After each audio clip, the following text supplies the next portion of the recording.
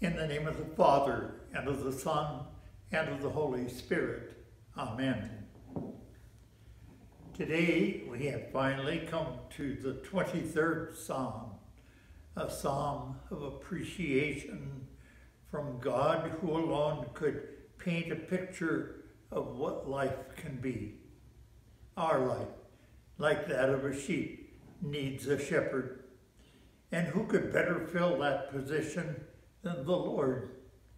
The Lord is a positive force in our life. He makes me lie down. And that happens at the end of each day. And we pray, now I lay me down to sleep.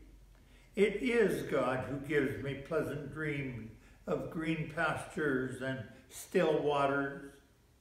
All the while, God restores our soul so that when we awaken, he can lead us in the paths of righteousness and with purpose for his name's sake.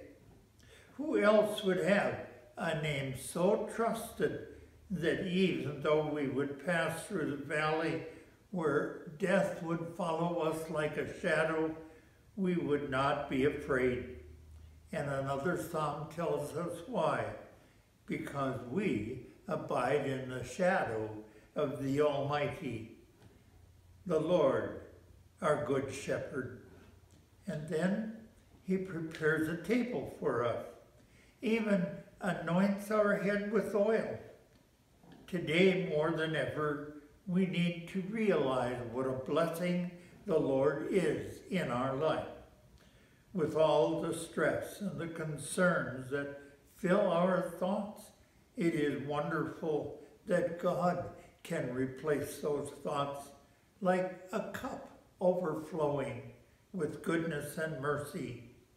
And not just for a day, but all the days of our life.